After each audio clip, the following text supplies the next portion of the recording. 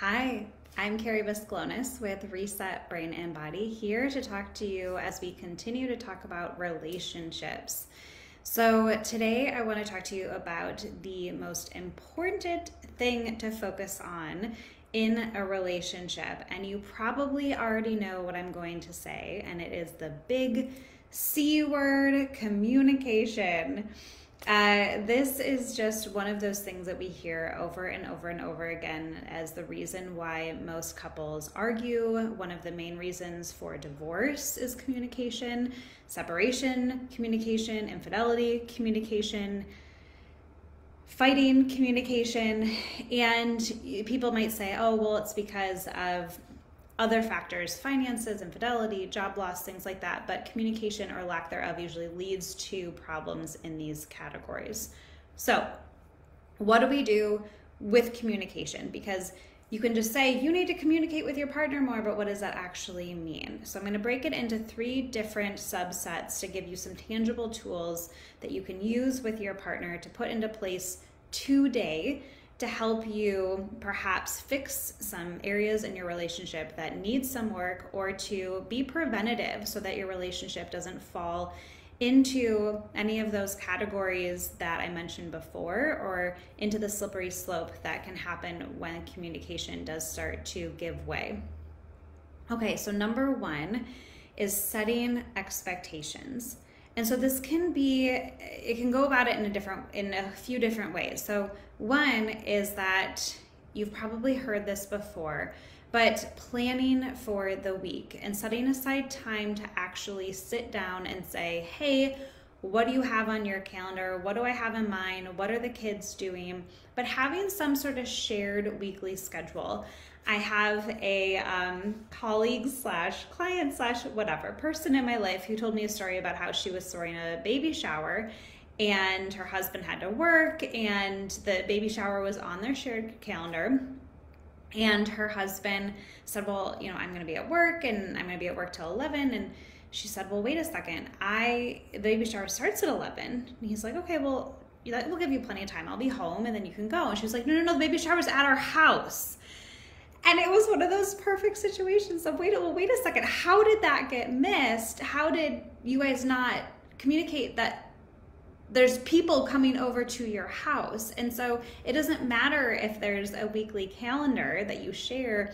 Where are the details in that? Where is the communication? And how to set the expectations with that. And so having something tangible where you're actually sharing what the plans are for the week sharing, okay, what do you have to do today? What do I have to do? Who's picking up from where? Who's cooking dinner? What are we going to make for dinner? The daily responsibilities. But bigger than this, and what helps set expectations even better, is if you're assigning large chunks of responsibilities. So, versus, hey, can you go pick up Charlie from daycare today because I have this meeting, but I'll whip dinner together while you're there, like that just feels frenetic and chaotic versus someone owning a particular layer of the household, almost like you guys are two co owners coming in together and saying, okay, I'm really good at the details and the spreadsheet and the numbers, so I'm going to handle this book of the business. And you're really good with communication and organizing, so you're going to handle this book of the business. And playing to your strengths. And so nothing feels unequal, but you truly are co owning the household. And this is something that you have to start poking holes at some of the layers of how society has been built to think that specifically women or moms have to take on a lot of the household responsibilities because truly it's just tradition and we can redefine how the household looks. And so, setting expectations, sitting with your partner, making a plan for the week, but then looking at this even bigger and saying, okay, what can we really shift within the household so that we feel like there's equal parts ownership in different layers of the household?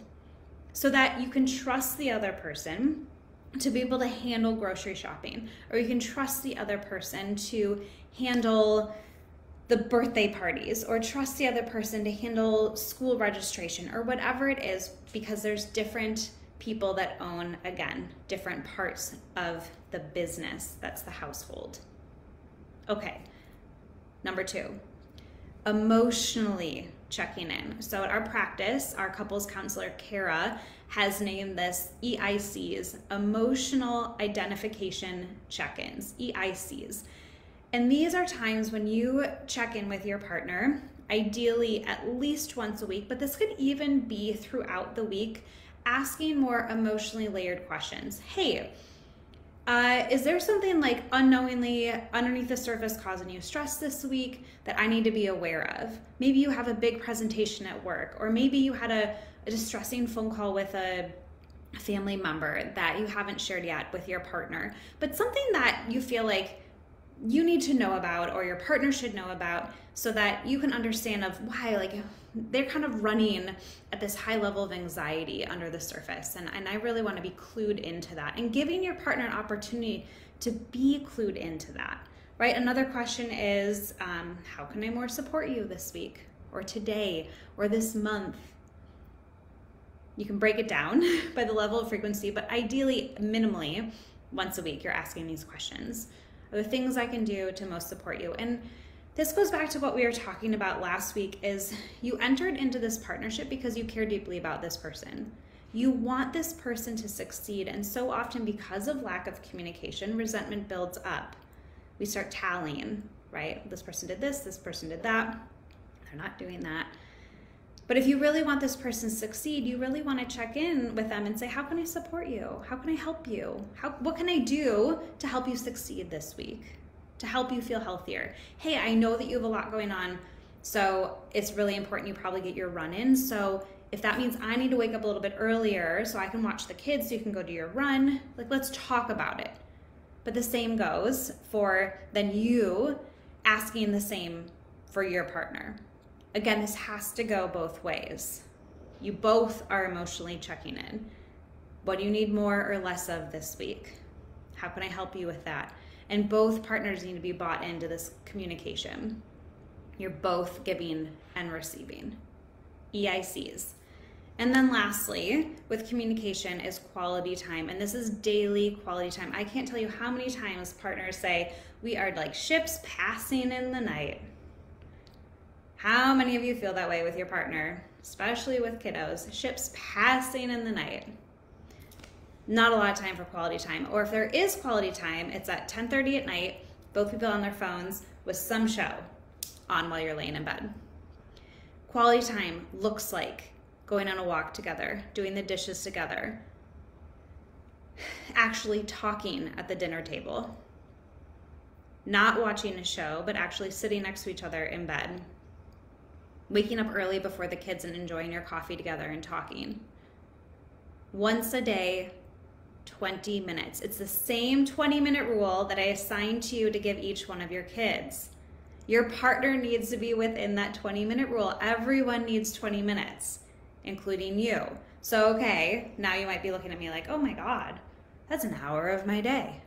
I have children, I have myself, and I have my husband. That means I have an hour a day of quality time? Yeah. That's what I'm saying.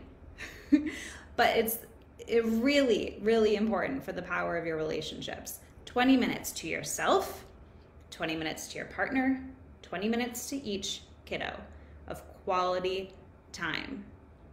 Reading books, going on a walk, playing outside, playing in the bedroom, whatever it is that you want to do, but equal part to yourself as well. 20 minutes for yourself too. You could take a 20 minute shower.